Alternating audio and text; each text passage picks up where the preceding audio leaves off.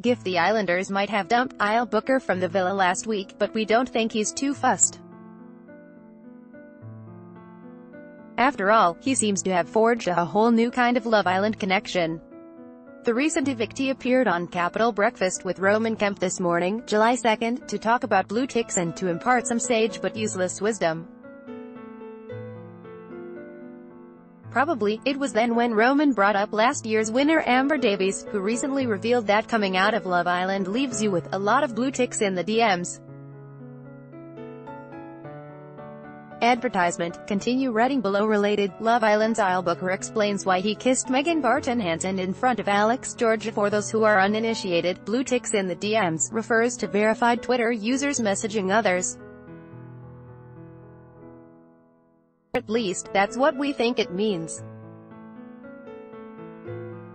After some hesitation, Eyal coyly responded, I'm not one to sit here and tell.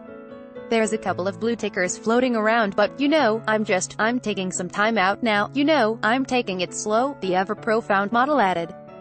Although not confirming anything outright, Eyal made pains to avoid denying anything too, by choosing not to answer Roman's question about Amber messaging him. Amber, Amber, stop, Roman joked before Eyal interrupted, Amber, don't stop. Eyal and Amber's potential coupling up comes not long after Amber's ex and fellow Love Island champion, Kem Cetinay reportedly met up with this year's Kendall Knight.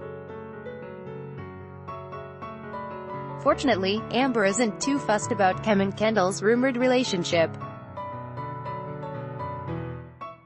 If they are in a relationship, I am happy for them, she told Good Morning Britain last month. Love Island continues tonight at 9 p.m. on ITV2. Want up to the minute entertainment news and features? Just hit like on our Digital Spy Facebook page and follow on our at Digital Spy Instagram and Twitter account.